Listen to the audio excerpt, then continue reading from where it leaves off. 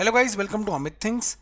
In this video we will see how we can easily download and install the current Oracle version that is Oracle Database 21c on Windows. Let's see. At first go to the web browser. I am using Chrome, you can use any web browser. On Google type Oracle Downloads and press enter. On pressing enter the official website will be visible and the same link so you can directly click on here so this will take us to oracle.com slash downloads page. Now go below. Under developer downloads, click on database because you want Oracle. Oracle is a database. Now we will reach here. So under database section we will reach. Herein we want Oracle. So it will come under database enterprise slash standard editions. Click on it so now we have reached the Oracle database section. This is the old version 19c but we want 21c so I'll go below. Here it is Oracle database 21c.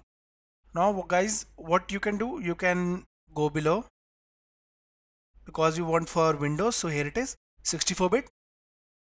Here you can see Enterprise Edition 21.3 the current version is available Oracle 21c so I'll just click on the zip file which is 2.5 GB it will take some good amount of time to download so I'll just directly click on the zip file click on it.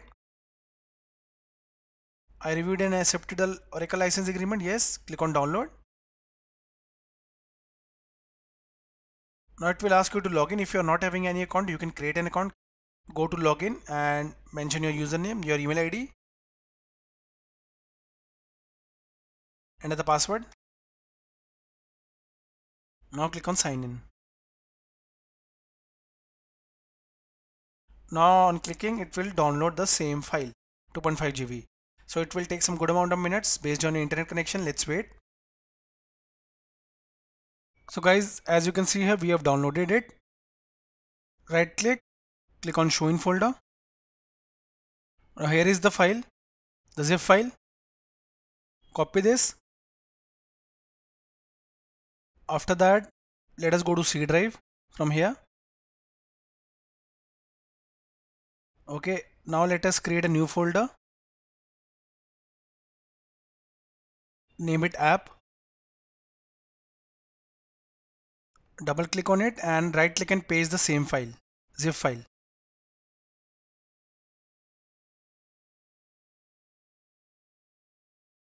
Now we will right click and I'll select extract to the following.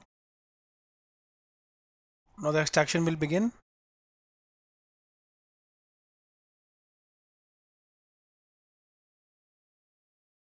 So the setup is now complete. We can change it to rename right click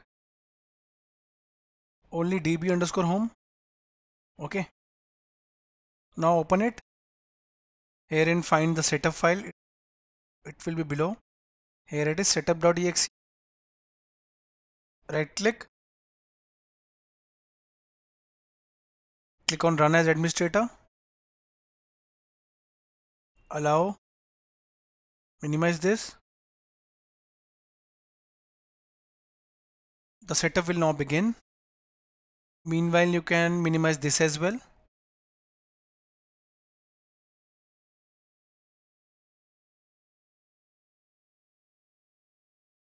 Now the setup started. At first you can see the configuration option is visible. Out of these we can select the first one. It will also create a starter database and the second will only install it I'll keep the default and I'll click on next. Now the desktop class and server class, if you are installing it on your laptop or desktop, go for the desktop class. So we are doing the same, so I'll click on next. For Oracle home user account, you can go for the virtual account. If you are an existing Windows user, go for this or you can go for the Windows built-in account. I would rather prefer going for the create new Windows user. Let's create it.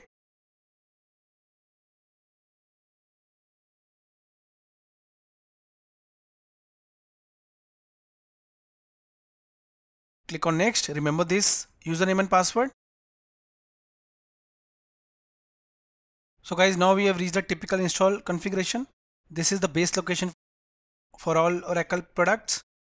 Okay this is the location of our software if you remember. Here it is db underscore home.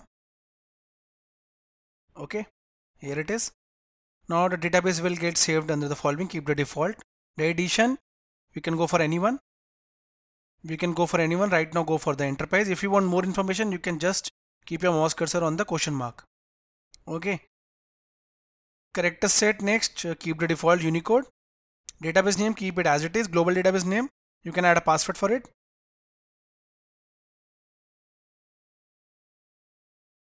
So you would be wondering what is this global database name? This is the starter database. Okay. So keep the name less than 8 characters. So I'll keep the default and I've also set the password. And this is the the pluggable database name. Keep the default. Click on next.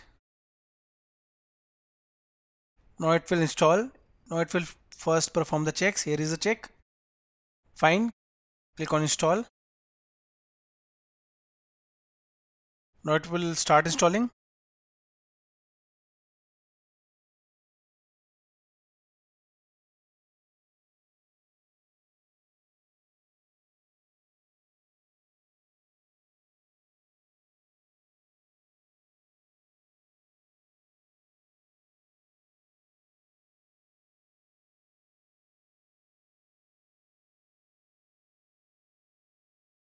So guys, you can see the Oracle database installation is successful. And here is the URL, the localhost URL which you can use. So guys, in this video we saw how we how we can easily download and install the current Oracle version. Thank you for watching the video.